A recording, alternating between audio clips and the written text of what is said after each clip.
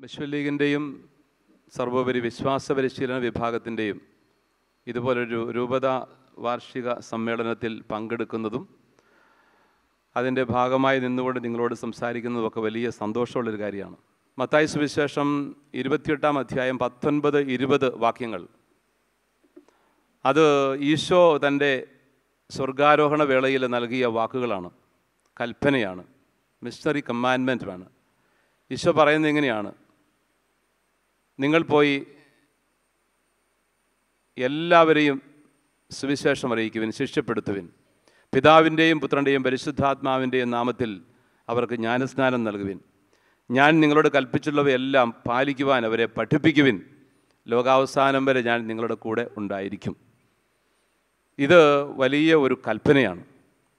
വലിയൊരു നിയോഗമാണ്. സ്ലീഹന്മാർക്ക് നൽകിയ ഒരു നിയോഗമാണ്. അത് സഭയ്ക്ക് നൽകിയ നിയോഗമാണ്.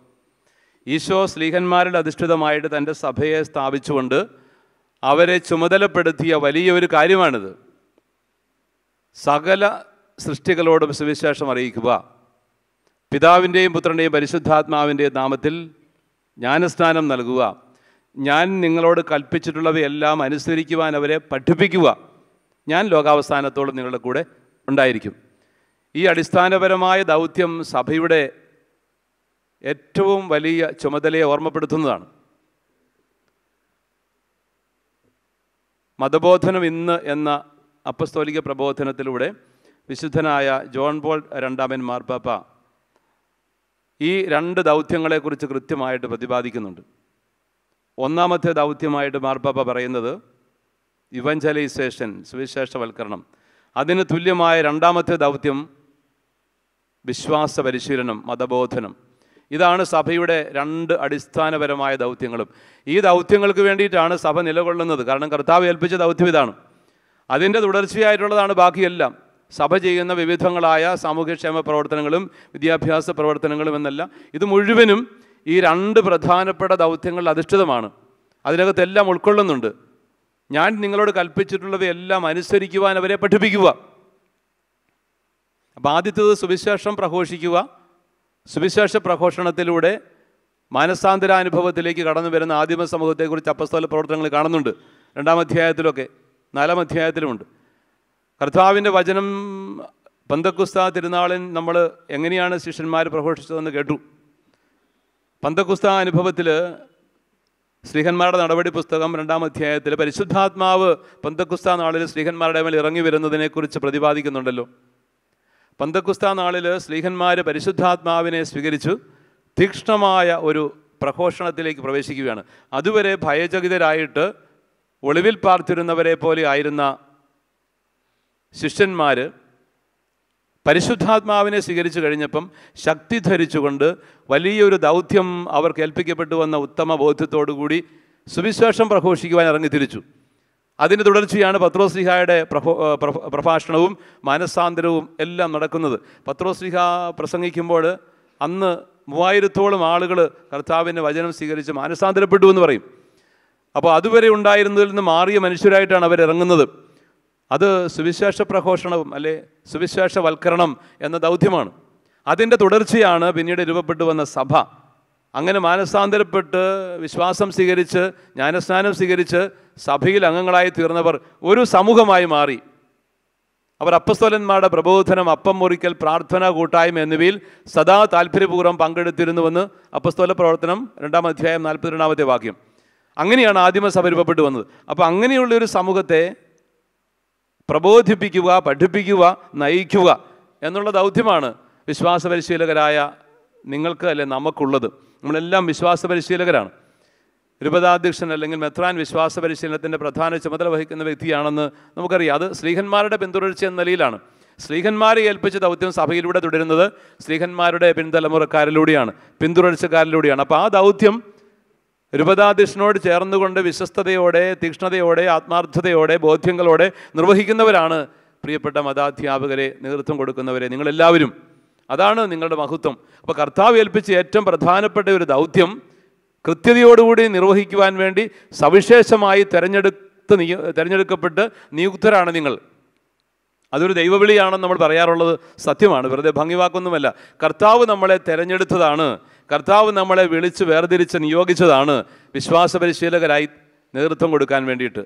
സഭയുടെ ഈ ദൗത്യത്തിൽ ഏറ്റവും അടുത്ത് നിന്നുകൊണ്ട് ഇടവകയിൽ വികാരിച്ചനോട് ചേർന്ന് നിന്നുകൊണ്ട് ഈ ദൗത്യം നിർവഹിക്കുന്ന നിങ്ങളെല്ലാവരെയും ഞാൻ ആത്മാർത്ഥമായിട്ട് അഭിനന്ദിക്കുകയാണ്. നിങ്ങൾക്കറിയാമോ നമുക്ക് രണ്ടായിരത്തി അഞ്ഞൂറോളം അധ്യാപകരുണ്ട് മതാധ്യാപകർ നമ്മുടെ രൂപതയിൽ ടു തൗസൻഡ് ഫൈവ് ഹൺഡ്രഡ് ചെറിയ നമ്പറല്ലത് രണ്ടായിരത്തി അഞ്ഞൂറോളം വോളണ്ടറി ആയിട്ട് വിശ്വാസം പരിശീലിപ്പിക്കുവാൻ സന്നദ്ധരായി നിയുക്തരായിരിക്കുന്ന മതാധ്യാപകർ നമ്മുടെ രൂപതയിലുണ്ട്. ഞാൻ ഉണ്ടായിരുന്ന സമയത്ത് രണ്ടായിരം പേരാണ്. ഇപ്പം ഞാൻ ചോദിച്ചു അച്ഛനോട് എത്ര ഉണ്ടെന്ന്. ഇപ്പോൾ രണ്ടായിരത്തി അഞ്ഞൂറോളം ഉണ്ടെന്ന് അച്ഛൻ പറഞ്ഞു. അപ്പോൾ ആ നമ്പർ കൂടുതലായിട്ട് വന്നിട്ടുണ്ട്. അത് വലിയ കാര്യമാണത്. അതൊരു കമ്മിറ്റ്മെന്റാണത് സ്കൂളിൽ പഠിപ്പിക്കുന്ന പോലെയോ മറ്റെന്തെങ്കിലും ജോലി ചെയ്യുന്ന പോലെയോ അല്ല. ഇതൊരു കമ്മിറ്റ്മെന്റാണ് കർത്താവ് ഏൽപ്പിച്ച ദൗത്യം സഭയെ ഏൽപ്പിച്ച ദൗത്യം സഭ ആവശ്യപ്പെടുന്ന പ്രകാരം പൂർണതയോടുകൂടി അവികലമായിട്ട് കൊടുക്കാൻ വേണ്ടി നിയുക്തരായ ആളുകൾ. അത് വിശ്വാസ പരിശീലനം നമ്മൾ പറയുന്നത്. വിശ്വാസം പരിശീലിപ്പിക്കുകയാണ്. അപ്പോൾ കൃത്യമായിട്ടുള്ള പ്രബോധനങ്ങൾ ജീവിതത്തിൽ പകർത്തി അത് അനുഭവിച്ച് ജീവിച്ചുകൊണ്ട് കുഞ്ഞുങ്ങൾക്ക് അത് നൽകി പരിശീലിപ്പിക്കുകയാണ്. പ്രിയപ്പെട്ട സഹോദരങ്ങളെ നമുക്കിന്ന് മുമ്പെന്നതിനേക്കാൾ വ്യത്യസ്തമായ ഒരു സാഹചര്യം നിലവിലുണ്ട്. നമ്മുടെ പരിസരങ്ങളൊക്കെ വ്യത്യസ്തമാണ്. കഴിഞ്ഞ കുറേ വർഷങ്ങളിലൂടെ ഉണ്ടായ മാറ്റം കോവിഡിന് ശേഷവും കോവിഡിന് മുമ്പും ഉള്ള കാലമെന്ന് പോലും വേർതിരിക്കപ്പെടാവുന്ന മാറ്റങ്ങളുണ്ട്. നിങ്ങൾക്കത് മനസ്സിലാവും. എ ഡി ബി സി എന്നൊക്കെ പറയുന്ന പോലെ കോവിഡിന് മുമ്പ് കോവിഡിന് ശേഷം എന്ന് പറയേണ്ടി വരും ഇപ്പം. ക്രിസ്തുവിന് മുമ്പ് ക്രിസ്തുവിന് ശേഷം എന്നൊക്കെ പറയുന്നതിനൊക്കെ ഇത്രയൊന്നുമില്ലെന്നാൽ പോലും. അത്ര മാറ്റങ്ങൾ വന്നിരിക്കുന്നു. വല്ലാത്തൊരു മാറ്റം. തിരിച്ചു വന്നുകൊണ്ടിരിക്കുകയാണെങ്കിലും മുഴുവൻ തിരിച്ചെത്തുന്നുണ്ടോ എന്നുള്ള ചോദ്യമുണ്ട്. കോവിഡിന് മുമ്പ് കുഞ്ഞുങ്ങൾ ക്ലാസ്സിൽ വന്നിരുന്ന പോലെ അല്ല ഇപ്പോൾ വന്നിരിക്കുന്നത്. അന്ന് ശ്രവിച്ചതുപോലെ അല്ല പലപ്പോഴും ഇന്ന് ശ്രവിക്കുന്നത്. അന്നത്തെ മാനസികാവസ്ഥയിൽ നിന്ന് വ്യത്യസ്തമായൊരു മാനസികാവസ്ഥ ഇന്നുണ്ട്. അതത്ര പോസിറ്റീവായിട്ടുള്ള കാര്യമല്ലത്. എന്താ സംഭവിച്ചത് കോവിഡ് കാലത്ത്? കോവിഡ് മാത്രമല്ല ഇതിന് മുമ്പുള്ള ഒരു കഴിഞ്ഞ ഒരു എട്ട് പത്ത് വർഷങ്ങളുടെ വലിയൊരു മാറ്റം സമൂഹത്തിൽ സംഭവിച്ചിരിക്കുന്നത്. ഈ വാർത്താ മാധ്യമ മേഖലയിലുണ്ടായ വലിയ വളർച്ച സൈബർ മേഖലയിലുണ്ടായ വളർച്ച അങ്ങനെയുള്ള വിവര സാങ്കേതിക വിദ്യയുടെ വളർച്ച ഇതെല്ലാം പോസിറ്റീവായിട്ടുള്ള കാര്യങ്ങളാണെങ്കിലും അതുമൂലം വേണ്ടത്ര പക്വതയില്ലാതെ പാകതയില്ലാതെ ആ മേഖലയിലൊക്കെ വ്യാപരിച്ചതിലൂടെ ഉണ്ടായ വളരെ ഗുരുതരമായ നിഷേധാത്മകമായ ഒരു മാറ്റം സമൂഹത്തിൽ സംഭവിച്ചത് വളരെ കൂടുതലായിട്ട് ബാധിച്ചിരിക്കുന്നത് നമ്മുടെ യങ് ജനറേഷനെയാണ് ഇളം തലമുറയാണ്. അത് കൊച്ചുകുട്ടികൾ ഉൾപ്പെടെയുള്ള ടീനേജേഴ്സ് ആയിട്ടുള്ള ഒരു ഇളം തലമുറയാണ് ഈ മേഖലയിൽ വളരെ നെഗറ്റീവായിട്ട് ഇത് സ്വാധീനിച്ചിരിക്കുന്നത് എന്നുള്ള കാര്യം ഞാൻ വെറുതെ പറയുന്നതൊന്നുമല്ല അത് നല്ല പഠനങ്ങൾ നടത്തിയിട്ടുണ്ട്. വിവരസാങ്കേതിക വിദ്യയുടെ വളർച്ച വളരെ പോസിറ്റീവായിട്ടുള്ള കാര്യമാണ്. മൊബൈൽ ഫോൺ ഉൾപ്പെടുന്ന ഇന്റർനെറ്റ് സംവിധാനങ്ങൾ സൈബർ മീഡിയ ഇതെല്ലാം ഈ കാലത്തിന്റെ ഒരു വളർച്ചയും നന്മയാണ്.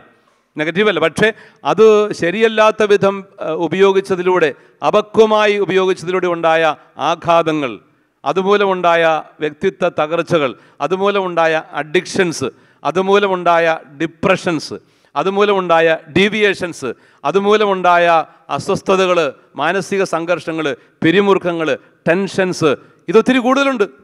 അത് ഈ ചെറുപ്പക്കാരുടെ തലമുറയാണ് ഏറ്റവും കൂടുതൽ ബാധിച്ചിരിക്കുന്നത്. മുതിർന്നവർക്കും ഇല്ലെന്ന് പറയുകയല്ല.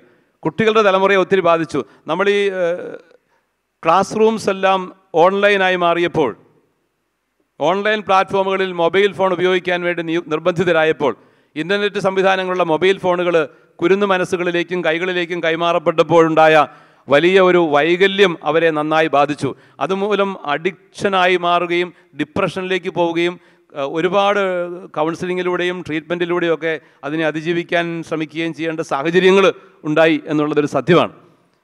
അത് നമ്മുടെ മുമ്പിൽ ഉണ്ടാവണം ഈ സത്യങ്ങളൊക്കെ. അത് കോവിഡ് കാലത്തും അതിന് മുമ്പുള്ള കാര്യങ്ങളും ഈ മാറ്റങ്ങൾ അപ്പോൾ ഈ മാറ്റങ്ങൾ ഉണ്ടാക്കിയ പ്രതിസന്ധികളുടെ മുമ്പിലാണ് നമ്മൾ നിൽക്കുന്നത് മതാധ്യാപകരായിട്ട് അല്ലെ വിശ്വാസ പരിശീലനത്തിന് ഇടവക തലങ്ങളിൽ നേതൃത്വം കൊടുക്കുന്നവരായിട്ട് നമ്മൾ നിൽക്കുന്നത് ഈ പ്രതിസന്ധികളുടെ നടുവിലാണെന്ന് ഓർക്കണം. അതുകൊണ്ട് കുട്ടികളുടെ ലോകം അവരെന്ന് കാണുന്നത് നമ്മൾ കാണുന്നതിനേക്കാൾ വ്യത്യസ്തമായ ഒരു ലോകത്തിലാണ് അവരായിരിക്കുന്നത്. പലതും അവർ മനസ്സിലാക്കുന്നത് നമ്മൾ മനസ്സിലാക്കുന്ന പോലെ ആകണോ എന്നില്ല. അതെല്ലാം പ്രശ്നങ്ങളാണ്. അപ്പോൾ ഇതിനെല്ലാം മുമ്പിൽ കണ്ടുകൊണ്ട് വേണം നമ്മൾ മുൻപോട്ട് നീങ്ങാൻ. അതൊരു കാര്യം. രണ്ടാമത്തെ അപ്പോൾ ഈ തന്നെയല്ല ഈ മീഡിയ ലോകം കൊണ്ടുവരുന്ന അർത്ഥസത്യങ്ങളും അസത്യങ്ങളും പരക്കെ ഇന്ന് വ്യാപിച്ചുകൊണ്ടിരിക്കുകയാണ്. കുട്ടികൾ പലപ്പോഴും അതിനെ തിരിച്ചറിയുന്നില്ല. കാണുന്നതും കേൾക്കുന്നതും എല്ലാം സത്യമാണെന്ന് വിചാരിക്കുന്നു. ഏതെങ്കിലും വാട്സപ്പിൽ കിട്ടുന്ന ന്യൂസുകളൊക്കെ ശരിയാണെന്ന് വിശ്വസിക്കുന്നു. അതിനകത്ത് നല്ല പങ്കും അസത്യങ്ങളായിരിക്കും പലതും അസത്യ അർത്ഥസത്യങ്ങളുമായിരിക്കും. അതെല്ലാം പെരുപ്പിച്ച് കാണിക്കുകയും അതിലൂടെ മുതലെടുക്കുകയും ബിസിനസ് നടത്തുകയും ചെയ്യുന്ന ഒരു രീതി ഇന്ന് വല്ലാതെ വർദ്ധിച്ചിട്ടുണ്ട്. അതിനെയൊക്കെ യഥോചിതം വിലയിരുത്തിയിട്ട് വിമർശിച്ചുകൊണ്ട് വിമർശനാത്മകമായിട്ട് അതിനെ കാണാൻ കഴിയുന്നില്ലെങ്കിൽ അത് അപകടം ഉണ്ടാകും. അതുകൊണ്ട് അറിയുന്ന കാര്യങ്ങൾ ശരിയല്ലാത്തതാണ് പലതും. കലുഷിതമായ പരിസരമാണ്. മാലിന്യം കലർന്നൊരു പരിസരമാണെന്ന് നമ്മുടെ ചുറ്റുമുള്ളത് വിശ്വാസവുമായി ബന്ധപ്പെട്ട് പ്രബോധനങ്ങളുമായി ബന്ധപ്പെട്ടെന്നുള്ള കാര്യം തിരിച്ചറിയണം. അവിടെയാണ് നമ്മൾ ഇന്ന് കാലുകുത്തി നിൽക്കുന്നത് വിശ്വാസ പരിശീലകരായിട്ട്. മറ്റൊന്നുള്ളത് നമ്മുടെ കുടുംബത്തിന്റെ പരിസരമാണ്. അതും ഇതുമായിട്ട് ബന്ധപ്പെട്ടതാണ്. കുടുംബങ്ങളിൽ മാതാപിതാക്കളിൽ നിന്ന് ലഭിക്കുന്ന വിശ്വാസ പരിശീലനമാണ് ഏറ്റവും പ്രധാനപ്പെട്ടത്. മാതാപിതാക്കളിൽ നിന്ന് ലഭിക്കുന്ന വിശ്വാസ പരിശീലനം ശരിയായി കിട്ടുന്നുണ്ടോ? ഒരുമിച്ചിരുന്ന് പ്രാർത്ഥിക്കാനും ഒരുമിച്ച് പങ്കുവയ്ക്കാനും ഒരുമിച്ച് കുട്ടികളോടൊപ്പം സമയം ചെലവഴിക്കാനും മാതാപിതാക്കൾക്ക് സമയം കിട്ടാത്ത സാഹചര്യം അതൊരു എക്സ്ക്യൂസ് അല്ല. അതിനുവേണ്ടി സമയം കണ്ടെത്താൻ പറ്റാത്തതിന്റെ അപകടങ്ങളുണ്ട്. അതും കുടുംബത്തിൽ ലഭിക്കേണ്ടത് കിട്ടാതെ പോകുക എന്ന് പറയുന്ന വലിയ പ്രതിസന്ധിയിലേക്ക് എത്തിക്കുന്നു. അപ്പോൾ അടിസ്ഥാനപരമായി വിശ്വാസം പരിശീലിപ്പിക്കപ്പെടേണ്ട കുടുംബം. അവിടെ വിശ്വാസ പരിശീലനം നടക്കുന്നില്ല വേണ്ട വിധം. കുടുംബത്തിൽ കിട്ടുന്നതിന്റെ തുടർച്ചയാണ് വിശ്വാസ പരിശീലന ക്ലാസ്സുകളിലൂടെ കൊടുക്കാൻ പറ്റുന്നത്. അപ്പോൾ വീട്ടിൽ വേണ്ടത്ര കിട്ടാതെ പോകുന്നു കഴിയുമ്പോൾ വീട്ടിൽ കിട്ടാത്തത് പിന്നെ കൊടുക്കാൻ പാടുപെടേണ്ടി വരും. പ്രയാസം വരും. അത് മറ്റൊരു വലിയ പ്രതിസന്ധിയാണ്. മറ്റൊരു പ്രശ്നം ഞാൻ ആദ്യം ഒരു ഒരു പ്രോബ്ലം പ്രസന്റേഷൻ പോലെ പറയാം നിങ്ങളുടെ മുമ്പിൽ. പിന്നെയുള്ളൊരു പ്രശ്നം എന്ന് പറയുന്നത് നമ്മുടെ ഒരു പ്രയോറിറ്റികളിൽ വന്ന മാറ്റം. മുൻപ് കാലങ്ങളിലൊക്കെ മാതാപിതാക്കൾ ദേവാലയത്തിൽ കുഞ്ഞുങ്ങളെ പറഞ്ഞു വിടുകയും വേദപാഠ ക്ലാസ്സുകളിൽ പോകണമെന്ന് നിർബന്ധിക്കുകയും അന്വേഷിക്കുകയൊക്കെ ചെയ്യുമായിരുന്നെങ്കിൽ മാതാപിതാക്കളുടെ പോലും പ്രയോറിറ്റികളിൽ മാറ്റം വന്നോ എന്നുള്ള പ്രശ്നമുണ്ട്. ദൈവത്തിന്റെ രാജ്യവും അവിടുത്തെ നീതിയും ആദ്യം അന്വേഷിക്കുക ബാക്കിയെല്ലാം അതോട് ചേർത്ത് നൽകപ്പെടും എന്ന കർത്താവിന്റെ വചനത്തിന്റെ പൊരുൾ തിരിച്ചറിയണം. ദൈവരാജ്യവും അവിടുത്തെ നീതിയും ദൈവിക കാര്യങ്ങൾക്ക് പ്രാധാന്യം എന്ന് കൂടിപ്പോയോ എന്ന് കുറഞ്ഞു വന്നോ അതോ നേരത്തെ പോലെയാണോ? ഒന്നാം സ്ഥാനം ഉണ്ടോ ദൈവിക കാര്യങ്ങൾക്ക് വിശ്വാസ കാര്യങ്ങൾക്ക് ഒന്നാം സ്ഥാനം കൊടുക്കാൻ കർത്താവ് ആഗ്രഹിക്കുന്നുണ്ട്. അത് കൊടുക്കുന്നുണ്ടോ മാതാപിതാക്കൾ കുടുംബത്തിൽ ഒക്കെ എന്ന് ചിന്തിക്കേണ്ട കാലം. പലപ്പോഴും ഇല്ലാതെ പോകുന്നു. ഭൗതിക മേഖലകളുടെ ഒരു അതിപ്രസരം അതിഭൗതികതയുടെ വല്ലാത്ത അതിപ്രസരം അങ്ങനെയുള്ള ധനസമ്പാദനത്തിനും മറ്റ് ഭൗതിക കാര്യങ്ങൾക്കും വേണ്ടിയിട്ടുള്ള വ്യഗ്രതകൾ ഈ വ്യഗ്രതകളിൽ പെട്ടുകൊണ്ട് മറ്റു വിശ്വാസ കാര്യങ്ങളും മതബോധന വിഷയങ്ങളുമെല്ലാം അവഗണിക്കപ്പെടുന്നു. അത് കുടുംബത്തിൽ അങ്ങനെ സംഭവിക്കുന്നെങ്കിൽ അത് കുട്ടികളിലേക്കും ആ പ്രശ്നങ്ങൾ മാറുന്നു. ഇങ്ങനെയെല്ലാമുള്ള ഒരു വലിയ സാഹചര്യം ഇപ്പോൾ ഇതുണ്ട് ഉണ്ട്. തെറ്റായ പ്രബോധനങ്ങളും വല്ലാതെ വർദ്ധിച്ചു വരുന്നുണ്ട് ഇപ്പോൾ ഈ കാലത്തൊക്കെ. തെറ്റായ പഠനങ്ങൾ അത് കൺഫ്യൂഷൻ ഉണ്ടാക്കുന്നു. ഇങ്ങനെയൊക്കെയുള്ള മാറിയ ഒരു പരിതോവസ്ഥയിലാണ് നമ്മൾ ഇന്ന് വിശ്വാസം പരിശീലിപ്പിക്കുവാനായിട്ട് വിളിക്കപ്പെട്ടിരിക്കുന്നത്. അതുകൊണ്ട് തന്നെ പണ്ട് ഉള്ളതിനേക്കാളൊക്കെ എത്രയോ തീക്ഷ്ണമായിട്ട് എത്രയോ തീവ്രമായിട്ട് അതിന് ശ്രമിച്ചാൽ മാത്രമേ ഫലം കാണുകയുള്ളൂ എന്ന് പറയാൻ വേണ്ടിയിട്ടാണ് ഞാൻ ഈ പ്രതിസന്ധിയെ അവതരിപ്പിച്ചത്. അപ്പോൾ മതാധ്യാപകരായ നിങ്ങൾക്കുള്ള കടമ പ്രഥമാധ്യാപകരായ നിങ്ങൾ ഏറ്റെടുക്കുന്ന വലിയ ചുമതല വിശ്വാസ പരിശീലനത്തിന് നേതൃത്വം കൊടുക്കുന്ന വിളിക്കപ്പെട്ടവരായ നിങ്ങൾ അല്ലെങ്കിൽ മിഷണറിമാരായിട്ട് കുഞ്ഞുങ്ങളെ ഒരുക്കുവാൻ കടപ്പെട്ടിരിക്കുന്ന മിഷൻ ലീഗ് സംഘടന ഇവരൊക്കെ ചെയ്യുന്ന ദൗത്യം അത് എത്രമാത്രം തീക്ഷ്ണമായിരിക്കണം എന്നുള്ളതാണ് എനിക്ക് പറയാനുള്ളത്. നമ്മുടെ ജീവിത മാതൃകയാണ് ഏറ്റവും പ്രധാനപ്പെട്ട കാര്യം. നമ്മുടെ വിശ്വാസാനുഭവമാണ് ഏറ്റവും പ്രധാനപ്പെട്ട കാര്യം. ഇതിനുള്ള പരിഹാര മാർഗം എന്ന് പറയുന്നതിന്റെ ഒന്നാമത്തെ കാര്യം നമുക്ക് ആഴമായ ഒരു ദൈവാനുഭവം വേണം. തീക്ഷ്ണമായ ഒരു വിശ്വാസവും മാതൃകാപരമായ ഒരു ജീവിതവും നമുക്കുണ്ടാവണം. അതാണ് ഏറ്റവും പ്രധാനപ്പെട്ട കാര്യം. അങ്ങനെയുള്ള നല്ല ആളുകൾ എന്റെ മുമ്പിൽ ഇരിക്കുന്നതെന്ന് എനിക്കറിയാം. ഞാനങ്ങനെ കൂടുതലായിട്ട് പറഞ്ഞ് നിങ്ങളെ ബുദ്ധിമുട്ടിപ്പിക്കുകയല്ല. പക്ഷേ അതിന്റെ ആവശ്യകതയെക്കുറിച്ച് ഞാൻ വീണ്ടും വിരൽ ചൂണ്ടുകയാണ്.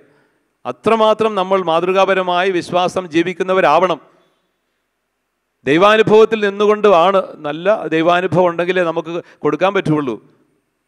നമ്മുടെ വിശ്വാസാനുഭവങ്ങളാണ് നമ്മൾ പങ്കുവയ്ക്കുന്നത് കൊച്ചു കുട്ടികളോട്. നമുക്കില്ലാത്ത ഒന്ന് കൊടുത്ത് അവരെ പ്രബോധിപ്പിക്കാനോ പരിശീലിപ്പിക്കാനോ പറ്റുകയില്ല. അപ്പം നിങ്ങളുടെ വലിയ ഉത്തരവാദിത്വം അത്രമാത്രം പ്രധാനപ്പെട്ടതാണ് കർത്താവ് നമ്മുടെ നമ്മൾ ചെയ്യുന്ന ഓരോ പ്രവൃത്തിക്കും ഫലം നൽകുന്നവനാണ്. മതബോധകൻ വിശ്വാസ പരിശീലകൻ പരിശീലകൻ എന്ന നിലയിൽ ഏൽപ്പിച്ച ദൗത്യം നിർവഹിക്കുമ്പോൾ കർത്താവ് നമുക്ക് വലിയ അനുഗ്രഹം തരും ഈ ഭൂമിയിൽ വെച്ച് അതിന്റെ പൂർണതയിൽ സ്വർഗത്തിലും. പക്ഷേ അതേസമയം കണക്ക് പറയേണ്ടവരുമാണ് ഉത്തരവാദിത്തങ്ങൾ ഏൽപ്പിക്കപ്പെട്ടവർ കണക്ക് പറയേണ്ടവരുമാണ് തമ്പുരാന്റെ മുമ്പിൽ നിങ്ങൾക്ക് നന്നായി ചെയ്യാനായിട്ട് സാധിച്ചില്ലെങ്കിൽ എന്തുകൊണ്ട്? എന്തുകൊണ്ട് കുഞ്ഞുങ്ങൾക്കത് വേണ്ട വിധം അനുഭവപ്പെടാൻ പറ്റിയില്ല? അതിന്റെ കാരണം നമ്മൾ കണ്ടെത്തേണ്ടി വരും. അല്ലെങ്കിൽ കർത്താവിന്റെ കണക്ക് പറയേണ്ടി വരും. അതുകൊണ്ട് ഭാരിച്ച ഉത്തരവാദിത്തമാണ്. നല്ലൊരു വചനാനുഭവം ദൈവാനുഭവം സഭയിൽ ആയിരുന്നു കൊണ്ട് കുതാശകളിലൂടെ എല്ലാം കർത്താവിനെ അനുഭവിക്കുന്ന വചനത്തിലൂടെ അനുഭവിക്കുന്ന ഒരു തീഷ്ണമായ ദൈവാനുഭവം നമുക്കുണ്ടാവണം. അത് ഷെയർ ചെയ്യണം. പിന്നെ വചനം നന്നായിട്ട് പങ്കുവെക്കാൻ നമുക്ക് സാധിക്കണം. കുട്ടികൾക്ക് വചനം കൊടുക്കണം. കുട്ടികളെ വചനത്തിൽ ദൈവവചനത്തിൽ വളർത്തണം. അതും വളരെ അത്യാവശ്യമാണ്. ദൈവവചനമാണ് സത്യം. ദൈവവചനത്തിൽ അല്പം പോലും കലർപ്പില്ല. അത് സത്യമാണ്. അപ്പോൾ അസത്യങ്ങളുടെ നടുവിൽ ഞാൻ വിശ്വസിക്കുന്ന സുവിശേഷം ഞാൻ പഠിക്കുന്ന പരിശീലിക്കുന്ന ദൈവത്തിന്റെ വചനം അതാണ് നമുക്ക് പ്രകാശമായി മാറുന്നത്. ദൈവത്തിന്റെ വചനം പാദങ്ങൾക്ക് വിളക്കും പാതയിൽ പ്രകാശവുമാണ്. അപ്പോൾ ഇരുൾ മൂടിയ കലുഷിതമായ സങ്കീർണമായ ഈ സാഹചര്യങ്ങളിലൂടെ നടക്കുമ്പോൾ അവിടെ കൃത്യമായിട്ട് വഴി എറിഞ്ഞു പോകാനായിട്ട് ദൈവത്തിന്റെ വചനം എനിക്ക് മാർഗനിർദ്ദേശം തരുന്നു. എന്നെ പ്രചോദിപ്പിക്കുന്നു എന്നുള്ള ബോധ്യം കുട്ടികൾക്ക് കൊടുക്കാൻ വചനം നന്നായിട്ട് പഠിപ്പിക്കാൻ നമുക്ക് കടമയുണ്ട്. അത് മതാധ്യാപകരുടെ പ്രധാനപ്പെട്ട ഒരു ദർശനമായിട്ട് മാറേണ്ടതാണ്. വചനം നന്നായി പഠിപ്പിക്കുക. വചനം ഹൃദയസ്ഥമാക്കുകയും വചനം വായിച്ച് ധ്യാനിക്കുകയും വചനം നമ്മൾ തന്നെ പഠിക്കുകയും വചനം പങ്കുവയ്ക്കുകയും പഠിപ്പിക്കുകയും ചെയ്യണം. അത് നമ്മുടെ വിശ്വാസ പരിശീലന ടെക്സ്റ്റ് ബുക്കിനകത്തൊക്കെ ഉണ്ട്. എന്നാൽ അതോടൊപ്പവും നമ്മുടെ വചനാനുഭവം കൂടി പങ്കുവയ്ക്കാനും കൂടി സാധിക്കണം. അവരെ കാണാതെ പഠിപ്പിക്കുന്നതോടൊപ്പം തന്നെ വചനാനുഭവം പങ്കുവെക്കേണ്ടതും അതിന്റെ ഭാഗമായിട്ട് ആവശ്യമാണ്. പിന്നെ മറ്റൊന്നുള്ളത് വിശുദ്ധരെ പരിചയപ്പെടുത്തണം. അതിനുള്ള അവസരങ്ങൾ നമുക്കുണ്ട്. വിശുദ്ധരെ പരിചയപ്പെടുത്തുക. വിശുദ്ധർ എന്ന് പറയുന്നത് മാംസം ധരിച്ച വചന രൂപങ്ങളാണ് ഒരർത്ഥത്തിൽ. മാംസം ധരിച്ച വചന രൂപങ്ങളാണ് വിശുദ്ധർ. അപ്പോൾ മാംസം ധരിച്ച വചനരൂപങ്ങളായ അല്ലെങ്കിൽ ദൈവത്തിന്റെ വചനം ജീവിതത്തിൽ പ്രാവർത്തികമാക്കിയ ആളുകൾ അവർ നമ്മുടെ ജ്യേഷ്ഠ സഹോദരന്മാരാണ്. അവരൊക്കെ അപ്രാപ്യരായ അങ്ങെവിടെയോ ഉള്ള ഒരു വ്യക്തിയായിട്ട് അങ്ങ് ദൂരത്തിൽ നിന്നുകൊണ്ട് മധ്യസ്ഥം പ്രാർത്ഥിക്കാൻ വേണ്ടി മാത്രം കണ്ടാൽ പോരാ. ജീൻസും ഷർട്ടും ഒക്കെ ഇട്ട് തോളയിൽ ഒരു സഞ്ചിയൊക്കെ ഇട്ട് പോകുന്ന കാർലോ അക്കത്തിസ് ഇന്നത്തെ വിശുദ്ധനാണ് കുട്ടികളെ പോലെ ഇവിടെ ഇരിക്കുന്നവരെയൊക്കെ പോലെ. തോളിലൊരു സഞ്ചിയൊക്കെ തൂക്കി മൊബൈൽ ഫോണൊക്കെ കൈ പിടിച്ച് സമകാലിക പരിസരങ്ങളിലെ ഒരു വിശുദ്ധൻ. അപ്പോൾ മൊബൈൽ ഫോൺ വേണോ വിശുദ്ധനാകാനെന്ന് ചോദിച്ചാൽ അങ്ങനെയല്ല എന്റെ അർത്ഥം. മൊബൈൽ ഫോണിലൂടെ എന്താ കാർലോ അക്കത്തിസ് ചെയ്തെന്ന കാര്യം ഓർക്കണം. വിശുദ്ധ കുർബാനയുടെ സന്ദേശം ലോകമെങ്ങും പ്രചരിപ്പിക്കുകയായിരുന്നു. അല്ലാതെ വാട്സപ്പിലൂടെ വേറെ തേടി നടക്കുകയല്ലായിരുന്നു. വിശുദ്ധ കുർബാനയുടെ സന്ദേശം ലോകം മുഴുവൻ പ്രചരിപ്പിക്കുകയാണ് ചെയ്തത്. എരിയുന്ന ദൈവസ്നേഹത്താൽ നിറഞ്ഞുകൊണ്ട് സുവിശേഷത്തിന്റെ സന്ദേശം ലോകത്തിൽ മുഴുവനും പങ്കുവയ്ക്കാൻ ജീവിതവിശുദ്ധി പാലിച്ചുകൊണ്ട് സഹനങ്ങളെയെല്ലാം വലിയ കൃപയുടെ അവസരങ്ങളാക്കി മാറ്റി ജീവിച്ച ഒരു പുണ്യവാനാണത്. പക്ഷെ കണ്ടു കഴിഞ്ഞാൽ നമ്മളെ പോലത്തെ ചെറുപ്പക്കാരനാണ്. ചെറുപ്പക്കാരികൾക്കും അങ്ങനെ തന്നെ ചിന്തിക്കാം. അപ്പം അങ്ങനെ ഇന്നത്തെ ജീവിത സാഹചര്യങ്ങൾക്ക് ചേരുന്ന വേഷ സംവിധാനങ്ങളൊന്നും കുഴപ്പമൊന്നുമില്ല. മോഡസ്റ്റ് ആയിരിക്കണമെന്ന് മാത്രം. അപ്പം അങ്ങനെയുള്ള നല്ല രീതിയിൽ ഇന്നത്തെ ജീവിത പരിസരങ്ങളിൽ നല്ല വിശുദ്ധരായിട്ട് ജീവിക്കാൻ പറ്റുമെന്നുള്ളതിന്റെ തെളിവുകളാണതൊക്കെ അപ്പോൾ അങ്ങനെയുള്ള മോഡൽസ് ആയിട്ടുള്ള വിശുദ്ധരുണ്ട്. പലതരത്തിൽ വ്യത്യസ്തമായ രീതിയും ഭാവമുള്ള വിശുദ്ധരുണ്ട്. വൈദികരായിട്ടുള്ളവരുണ്ട് സന്യസ്തരായിട്ടുള്ളവരുണ്ട് അൽമായരുണ്ട് ചെറുപ്പക്കാരുണ്ട് അങ്ങനെയൊക്കെയുള്ള വീട്ടമ്മമാരുണ്ട് അങ്ങനെയൊക്കെയുള്ള വിശുദ്ധരുണ്ട്. അപ്പോൾ ഈ വിശുദ്ധരെയൊക്കെ വേണ്ട വിധം അവരുടെ മനസ്സിന് ചേരുന്ന വിധം അവതരിപ്പിക്കുകയും അത് അവർക്ക് ഒരു ആഴമായ ഒരു ആത്മാവബോധം കിട്ടുന്ന വിധം അതിലേക്ക് കൊണ്ടുവരികയും ചെയ്യണം. വിശുദ്ധരുടെ ജീവിതചരിത്രങ്ങൾ വായിക്കാനും അവലോകനം ചെയ്യാനും വിചിന്തനം ചെയ്യാനും ചർച്ച ചെയ്യാനും ഒക്കെയുള്ള വേദികൾ ഉണ്ടാവണം. ക്ലാസ് റൂമുകളിൽ അത് ഇൻസ്പിറേഷൻ കൊടുക്കും അവർക്ക് അത്തരം പ്രചോദനങ്ങൾ പിള്ളേരെ ശക്തിപ്പെടുത്തി മുൻപോട്ട് നയിക്കും. അതുപോലെ തന്നെ മതാധ്യാപകർ വേണ്ട വിധം ഇപ്പോഴത്തെ കാലത്തിന് ചേരുന്ന വിധം ഈ ക്ലാസ് ഒരുങ്ങി വന്നിട്ട് ഈ പുതിയ മെത്തഡോളജി ഒക്കെ ഉപയോഗിച്ചുകൊണ്ട് തന്നെ കുട്ടികളുടെ തമ്മിൽ പ്രസന്റ് ചെയ്യാനായിട്ട് തയ്യാറാവണം. ടീച്ചിങ് പെഡഗോജി വളരെ പ്രധാനപ്പെട്ടതാണ്. അതുകൊണ്ട് മാറിയ കാലത്തിന് ചേരുന്ന വിധം അവതരിപ്പിക്കുവാനും പരമാവധി ശ്രമിക്കണം. തീർച്ചയായിട്ടും നിങ്ങൾ അങ്ങനെയൊക്കെ ചെയ്യുന്നവരും നിങ്ങളങ്ങനെ നയിക്കുന്നവരും അങ്ങനെ നയിക്കണം. അതുകൊണ്ടാണ് ഞാനിപ്പോൾ പൊതുവേ ഇത് പറയുന്നത്. ഞാൻ സൺഡേ സ്കൂൾ അധ്യാപകരെ കാണുമ്പോഴെല്ലാം സ്കൂൾ സന്ദർശിക്കുമ്പോഴും പാസ് വിസിറ്റിന് പോകുമ്പോഴൊക്കെ പറയുന്ന കാര്യം തന്നെയാണ് പക്ഷേ അത് നിങ്ങൾ അറിഞ്ഞിരിക്കാൻ വേണ്ടി പറയുകയാണ്. പതിനൊന്നാം ക്ലാസ്സിലെ പാഠപുസ്തകം ഈ വർഷം മാറി വരികയാണ്. ഈ കമ്മീഷന്റെ ചുമതല വഹിക്കുന്ന വ്യക്തി എന്ന നിലയിൽ അതിനകത്തുള്ള ബുദ്ധിമുട്ടുകളും അത് എന്തുമാത്രം കഷ്ടപ്പെട്ടാണ് ആ പാഠങ്ങളൊക്കെ രൂപീകരിച്ച് കൊണ്ടുവന്നത് എന്ന കാര്യം എനിക്ക് നന്നായിട്ട് അറിയാം പതിനൊന്നാം ക്ലാസ്സിലെ പാഠപുസ്തകത്തിന്റെ പരിശീലനം വേണം അധ്യാപകർക്ക്.